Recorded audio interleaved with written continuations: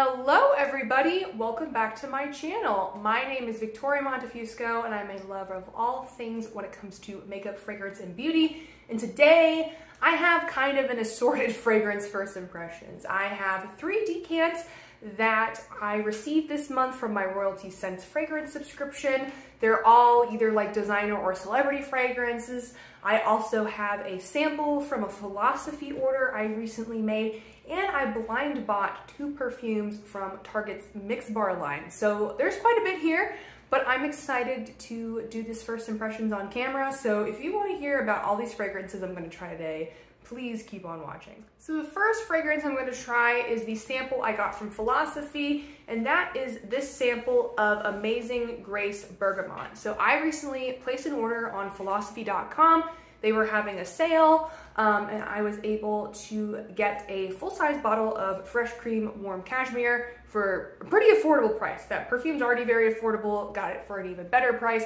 So I was very happy about that. Um, I tested that perfume at Ulta, fell in love, thought it was a very cozy, nice, warm kind of fragrance. So anyways, with my order, I got this sample in the mail and I was like, I like bergamot, so let's try it. So this fragrance is considered a floral fragrance. It's for women. It was launched in 2019 and it has notes of bergamot, orange blossom, musk, lily of the valley. I'm not normally a big fan of florals, but I do like bergamot, so let's give this one a try and see what I think. This to me smells like a fragrance I had when I was younger. It was a body splash from Bath & Body Works. They had a collaboration with American Girl. Um, they're the ones that like make the American Girl dolls, which I had a few of them growing up. And there was this one fragrance that was like florally and a little bit citrusy, and I used to spray it on myself like every day. And this to me smells exactly like that. Is it a pleasant scent? Yes. There's definitely that bergamot touch there that gives it a little bit of citrus, but there's definitely a lot of like sweet florals. So it's pleasant. It's just not personally my vibe. Because the notes in this fragrance, I would say solidly spring summer. I believe this is also an eau de toilette, so it might not last very long on the skin. Again, not sure of longevity. This is just a first impressions video. But yeah, I think it's pleasant. Am I in love? No. Do I think it's kind of basic? Yeah. But I do think it's pleasant. Personally, I don't think I'm gonna try this on my skin just because I'm not like, oh my goodness, I need to try this, I'm in love. You know, as someone who is getting into fragrances and likes to, you know, collect fragrances and wear my fragrances and enjoy them, I only want fragrances in my collection that I'm truly in love with. And this is just not that for me but I do think it is very pleasant. So Philosophy, Amazing Grace Bergamot, I think it's nice. It's a little bit basic, but it's just a solid bergamot leaning floor, sweet floral for the spring and the summertime. So next up, I wanna talk about my three fragrance decants from Royalty Scents. And first, I'm gonna talk about this one. So this is a decant of Marc Jacobs Daisy Dream. Marc Jacobs Daisy Dream. It's kind of hard to say. So Daisy has like a million and one flankers. So this is one of the flankers of Daisy. But, you know, I've tried Daisy. It's not for me. It's just not my vibe. But I thought this one could be interesting because it's like a fruity floral kind of Daisy flanker. Seems interesting. And it's been around for a while. So Daisy Dream was launched in 2014. It's a fragrance for women we have top notes of blackberry, pear, and grapefruit, which sounds delicious. I love some berry. I love pear. I love grapefruit. We have mid notes of wisteria, lychee, jasmine. I love a good lychee note. And we have base notes of musk, coconut, and white wood. Again, I love coconut. So I thought this could be a really nice fragrance, maybe for spring and summer, a very fruity, like slightly floral leaning fragrance. So let's give it a try. Yeah, you definitely smell the lychee in here. That pops out very quickly. There's a little bit of powderiness, which I believe is coming from that musk. Could also be coming from the coconut. Sometimes coconut can lean a little bit powdery instead of like tropical or like gourmand. I think this is more of a powdery coconut. Yeah, there's definitely a lot of florals in here. Like that jasmine is really a heavy hitter in here. Because of how heavy the jasmine is, I have a feeling this would give me a headache. A lot of white florals can give me a headache very easily. It's just me. I don't know why I'm so sensitive to white florals, but I just am. So because of that, because it's so, so heavy on the jasmine and the wisteria, I just don't think this fragrance is for me. I feel like it would give me a headache. it's just not my vibe. I do like the fruity touches. Those florals though are a bit too much. So Daisy Dream, sadly, not a fragrance for me, but I don't think it's a bad fragrance by any means. It's just I'm sensitive to white florals sometimes. So next up, I have this decant, also from Royalty Scents, and this is a decant of Ariana Grande, God is a Woman. So this is actually not gonna be a first impression for this fragrance. I have tried God is a Woman at Ulta. Um, I didn't spray it on my skin, I just sprayed it on a card, and I really liked how it smelled. So I wanna give this another try, give it some time at home, just to really see what I think. So this is like a fruity and sweet kind of perfume. It's considered an amber floral. It was launched in 2021. And a lot of these notes just sound like something I like. So it has top notes of pear and ambrette, also known as musk mallow.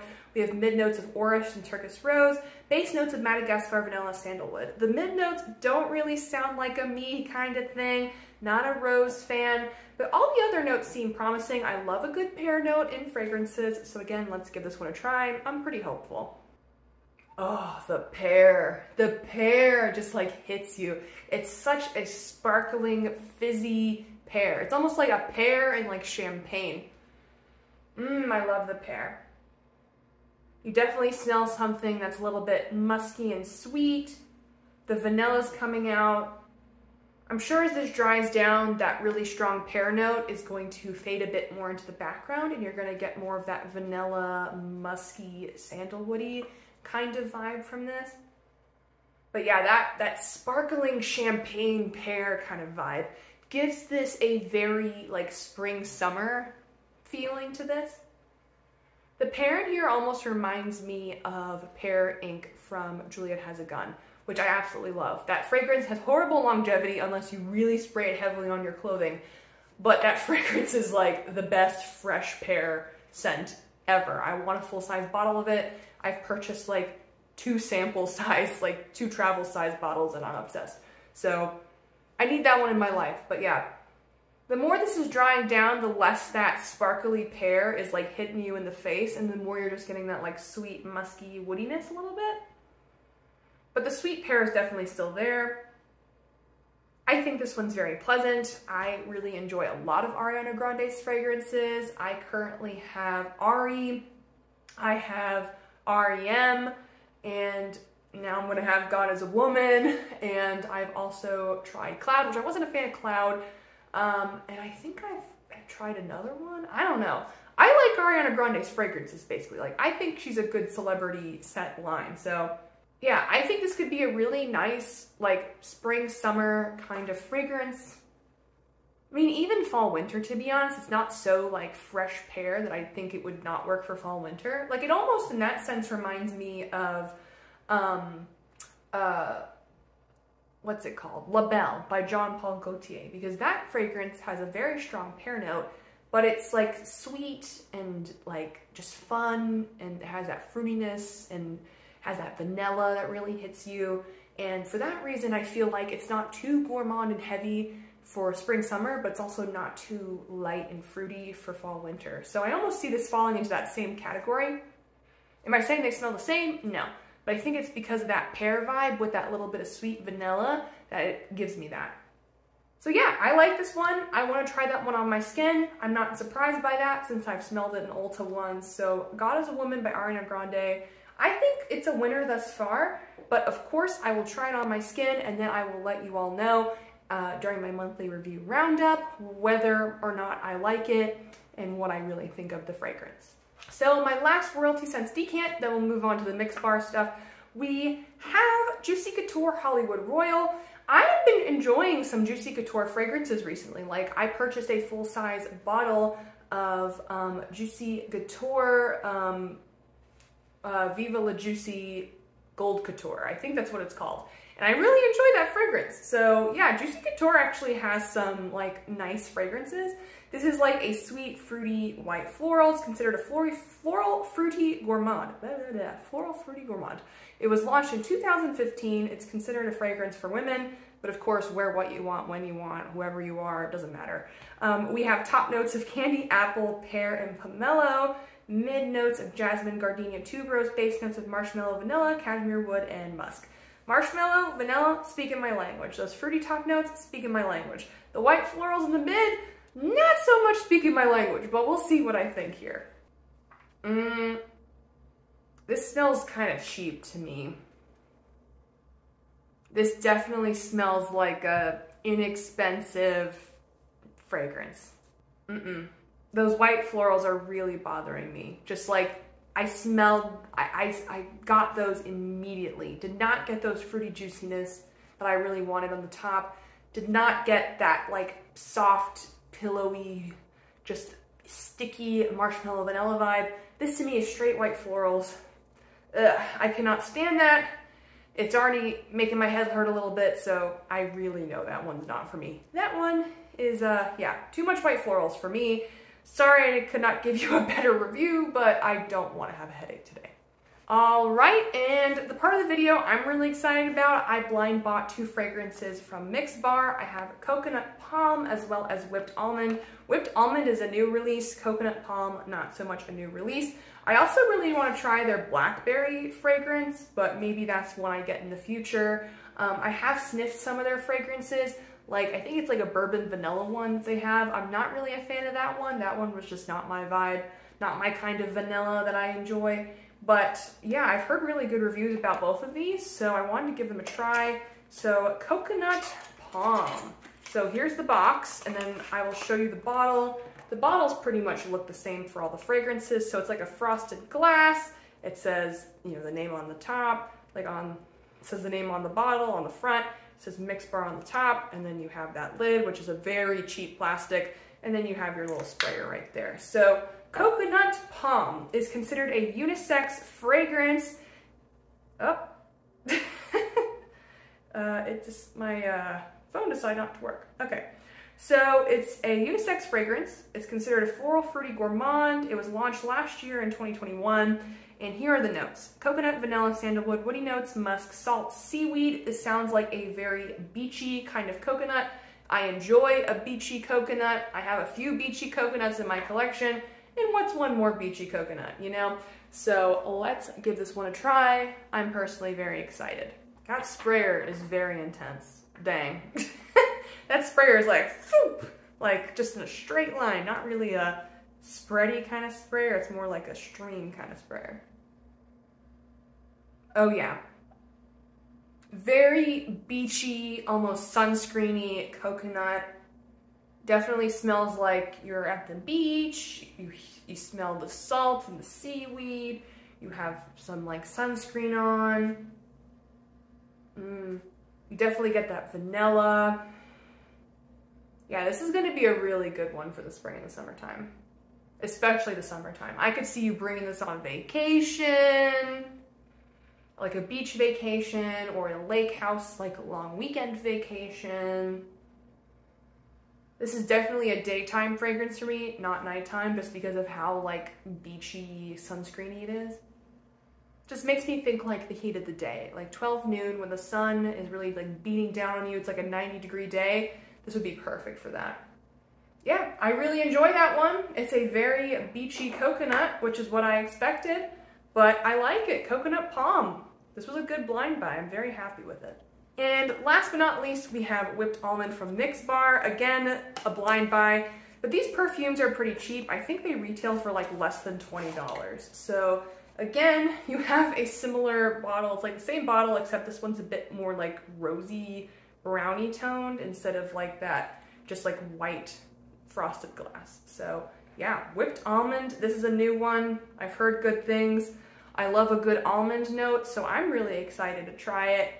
So let's look at the notes. This is a fragrance for women and men. It's brand spanking new and it only has four notes. Almond milk, sandalwood, iris flower. So this to me sounds like it's gonna be a very lactonic, powdery kind of almond.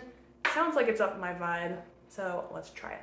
That sprayer was a little bit easier to work with. I think coconut, my, co my bottle of coconut palm was just like, pfft.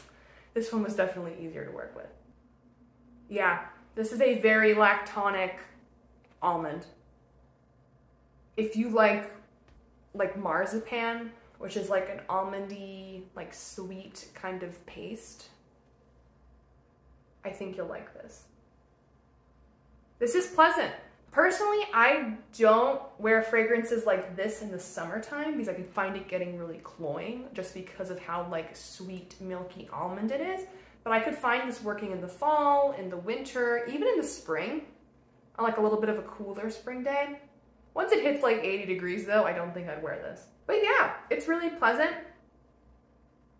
I could definitely see this as a good like layering scent. Like if you have a fragrance and you want to add a bit more of a powdery almond kind of vibe to it, this could really work well for you.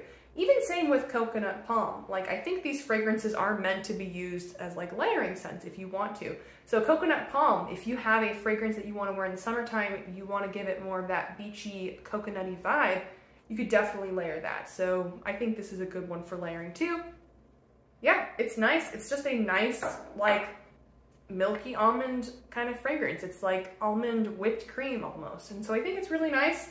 The name is very accurate. Um, I'm also definitely gonna try that one on my skin. So yeah, the blind buys were a success. I'm really, really happy about that. So that is it for today's video. I hope you all enjoyed it. We had like a 50-50 hit rate today. So three scents did not work, three scents did work. I'm gonna try them on my skin and of course let you know um, during my monthly review roundup what I think. But yeah, I'm really happy with all, like with all the ones that worked out for me and I just really enjoy doing these fragrance first impressions videos. So if you like this video, please like this video. It helps out with the YouTube algorithm and it also helps me know what kinds of content you like to see on my channel. If you like me, please subscribe. I'd love to have you all here. I post two to three videos per week, depending on my schedule, you know all that. And if you have anything to comment down below, any comments or thoughts on any of these fragrances, any fragrance recommendations, any questions, whatever, or you just want to talk, comment. I love to have conversations with you all and chat with you all about things that I love. So yeah, that is it for today's video. Thank you all for watching and thank you for spending part of your day with me and I will see you all next time. Bye!